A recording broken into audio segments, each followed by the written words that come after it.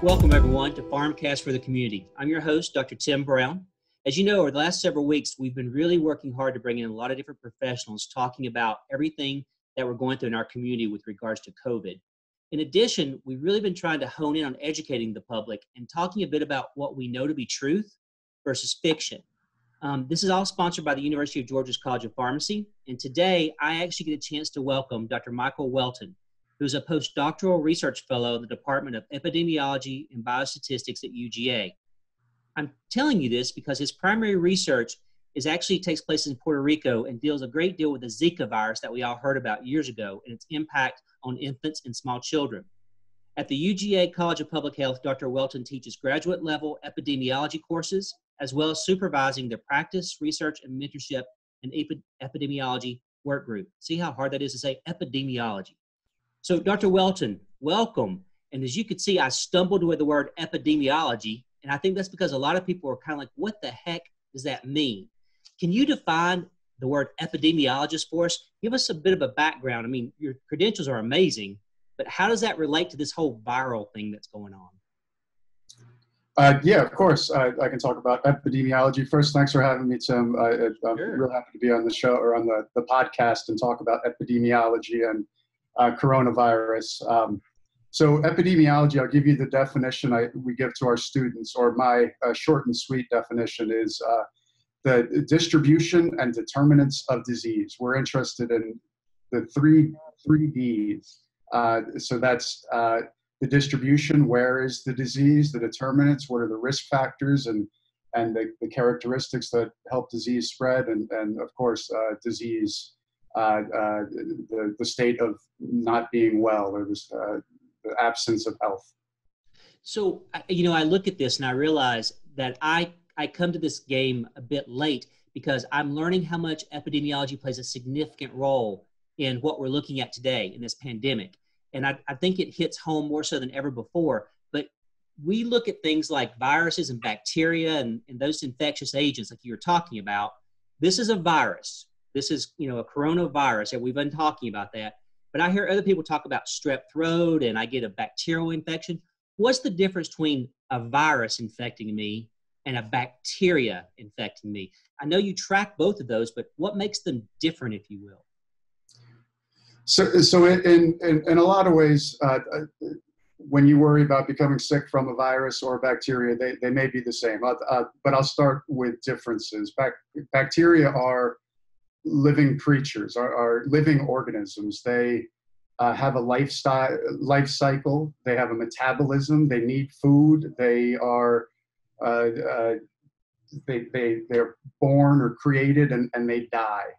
Uh, a virus is not. A, a virus is minuscule uh, in, in size in comparison to a bacteria. And in fact, a virus uh, can be can infect bacteria.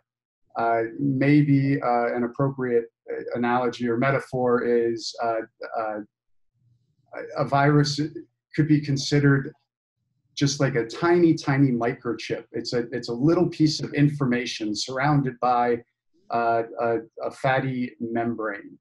Um, and so does I know bacteria can live on surfaces for a little while, but really not that long. It seems like in all this talk about coronavirus, we've been talking about how long it lives on a package or how long it lives on a surface.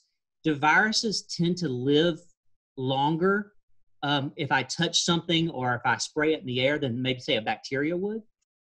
Yeah, so I don't I don't want to uh, get too too into the weeds about living and, and not living. What what a vi- that being said, what a virus is doing is when it is on that surface is not degrading. Um, and so it's uh, it, it is not degenerating.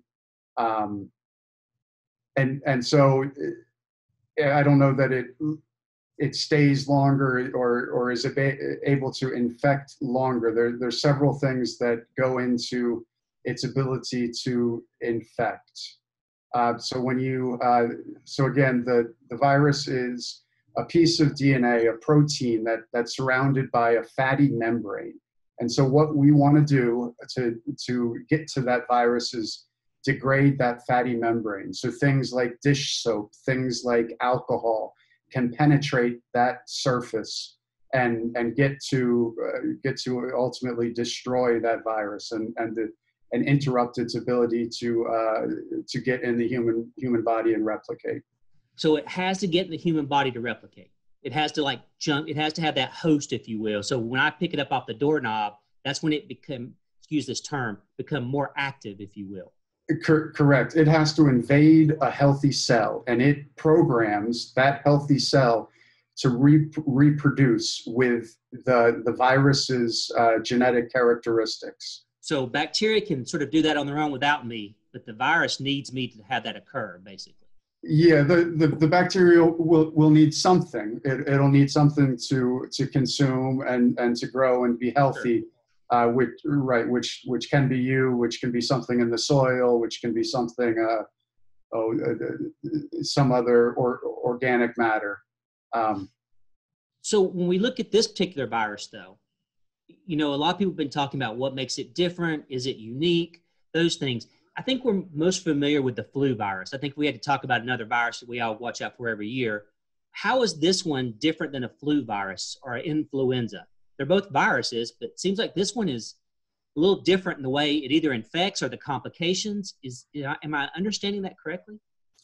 The the biggest difference between uh, this coronavirus, uh, influenza virus, uh, rhinovirus, para-influenza virus, uh, etc., is, is, is it's new.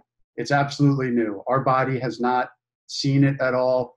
There is not a speck of immunity in in in in humans to to combat this this virus. Of course, there's no vaccine. We don't have a treatment.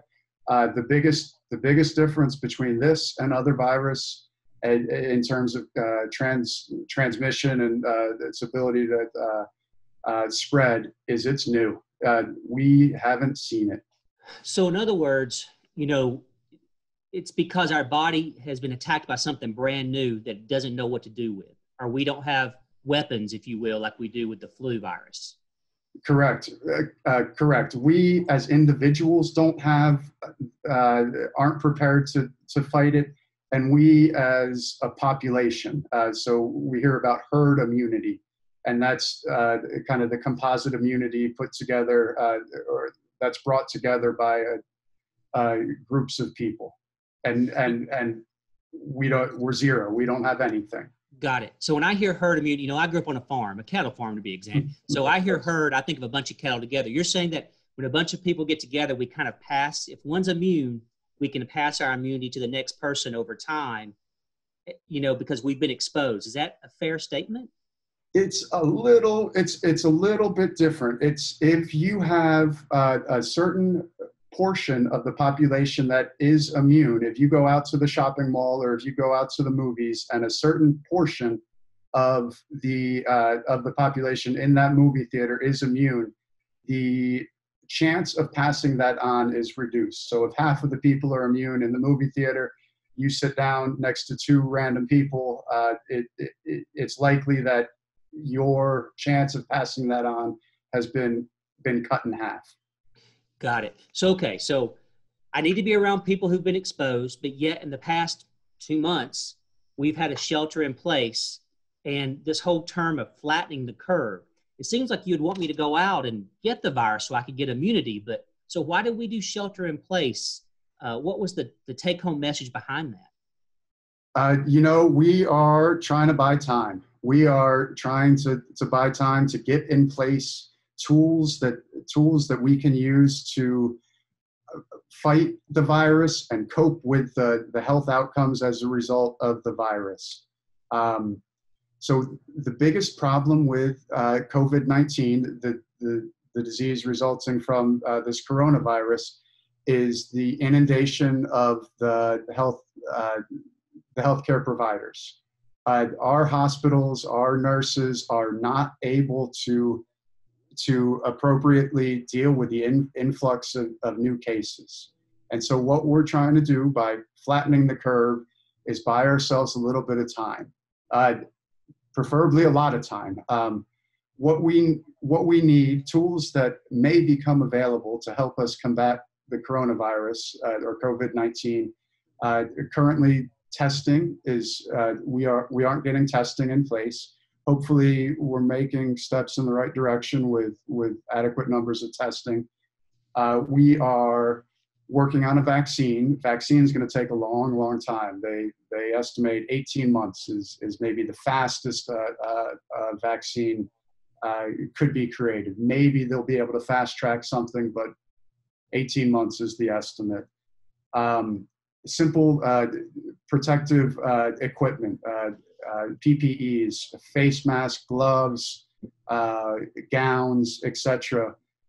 We don't we don't have that stuff available for uh, for our nurses, for our healthcare providers, for our for our doctors. If you were to go on Amazon, I don't. Last year, you would have been able to pick up a, a box of N95 masks for a few dollars if you go on Amazon right now, you simply can't buy N95 right. masks. So, uh, what I hear you saying is by staying in place, we're not necessarily killing the virus, we're not getting rid of the virus. What we're doing is we're buying time so we reduce the transmission so our healthcare professionals can fight this thing and researchers can find a way, if you will, to, to kill it um, or stop it from moving around. Is that is that pretty much what we've been doing for the last two months?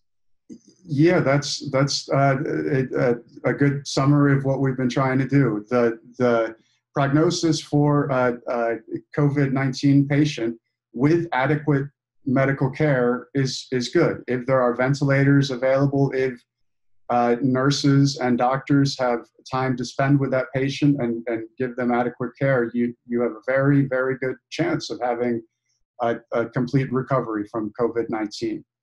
Uh, we're when, hearing from we're hearing from professionals like pharmacists, physicians, nurses, physician assistants, nurse practitioners about the hours they've been working and those things. So this buys a bit of time. I think the the question though is we're raising this shelter in place. There's been a huge discussion about reopening states, and I'm not going to walk down that path. But I mean, fact of the matter is, we're going to have to leave our home at some point. So by leaving our home, does that increase the possible transmission of this virus again? Is there a chance that we could have more times in which we see a peak of the virus versus this one peak that everybody's talking about? Could there be another curve, if you will? Yeah, yeah. So un- unfortunately for um, for us, uh, COVID nineteen, uh, we're probably stuck with it for for a, a long time. Hmm. Uh, every every year there are uh, four corona four coronaviruses that circulate endemically that that cause uh, let's 35 30 35 percent of the, the common colds and and the, those coronaviruses are around and, and every year you can count on them them being there. Uh, there's a lot of um, a lot of expert experts predict that this will be the fifth coronavirus that we will have this next year we will have this the following year we will have this the year after that. Um, as far as leaving your home this week or next week no there's there, nothing miraculous happened last week that that stopped the risk of the the uh, transmission. Um, and in fact uh, the opposite i've had some pretty serious uh, conversations with my mom and her husband uh, who are both uh, my mom's uh, in her 60s and he's in his 70s and and the the risk might be a little bit elevated as the, the risk of transmission is probably elevated as uh, the restrictions are, are loosened as people start to emerge as I, you know we're not everybody's has their fingers crossed that this is an appropriate time to, to reopen the reopen the economy, reopen uh, the activities. I mean, I know that's the debate. I guess, in your opinion, and only your opinion, if we were trying to get ahead the virus, when do you think that will happen? I mean, do you think it'll be 18 months, or do you think this time, this this flattening of the curve that we've done already, buys us time to really help the folks in the future when they become infected, versus the folks that were infected early on when we didn't really have a lot of uh, resources? Yeah, so that's you know that's the million, billion, or trillion dollar question. I I I'm that's uh, and and again uh, uh, above my my pay grade. We need to get tools in place. We need treatment. We need testing. Uh, uh, uh vaccine would be great. A, a treatment would be great. Um, hopefully, you know, I, I hope that this, this summer uh, things cool down a little bit and uh, in the fall, when there is a, a reemergence, we are better prepared to, to handle it. So, you know, I guess as we talk about this, it's important to really emphasize as we reopen up and look at herd immunity, because I really think that's a good point that you're making, but also we're not out of danger. We still need to be cautious about what we do and how we do it. Um, it keep ourselves safe and the ones we love safe as well. Is that fair while trying to be as normal as possible? And I use that word really loosely, normal. But as we come to an end here, Dr. Welton, um, and by the way, everyone, I speak with Dr. Michael Welton, who is an epidemiologist and is kind enough to come on and talk to us today about viruses, how they spread, what they do, those kinds of things. We're ending our time together, but do you have three pearls you'd like to leave with the community from what we've talked about today? Uh, yeah, I can. Uh, I can come up with uh, three uh, three pearls or, or, or three bullets. Um, uh, maybe the the first is uh, you're not you're not powerless to to combat COVID infection, or you're not pow- powerless to combat COVID nineteen. Follow the uh, follow pretty simple guidelines. Wash your hands, limit your contact, um, limit limit uh, touch it, limit uh, touching your face, um, and and you should should be okay. Uh, you should be able to pre- prevent uh, infection. Um, so that's that's one. Uh, be informed, you know, be informed, but or but don't panic. Um, number two, I don't think we've touched on this, but a healthy immune system is one of the best ways to prevent the negative outcomes of coronavirus. Uh, healthy people, there are outliers, but healthy people really, really fare better uh, with coronavirus infection. So uh, it, take a take a second to think about uh, small changes in your lifestyle that you can uh, that you can make uh, changes. So eating a healthy diet, getting exercise um, uh, are things that will help boost your immune system, uh, which is, great, uh, great for combating uh, COVID-19 infection. Um, and last, let's see, three pearls. Again, with I, I, there's no need to panic. read the news. read the news. Don't watch the news. and make sure you check out the, the sources that your news comes from. So don't just read the t- title, uh, but really open it up and, and see where this information is coming from. Um, so keep being safe. Don't do anything crazy. Uh, also, immune system. Think about all the healthy things that can do, including getting your sugars under control, your blood pressure under control, those things. So don't stop your medications. And lastly, make sure you watch people who know what they're talking about, like you, Dr. Welton. Correct? yeah, make make friends with your your local epidemiologist. Thank you for your time today. I want to tell our folks once again that I'm talking with Dr. Michael Welton. He's an epidemiologist here at the University of Georgia, is one of the leaders, and we worked with him in the past for many things in the College of Pharmacy. This partnership has been great for us because he keeps us tuned in to what's been going on. Dr. Welton, thank you for your time and thanks for being with us. And I know you're busy as heck with research, but I really appreciate you taking time out of your teaching and the research to speak with our community today. Thanks for having me, Tim.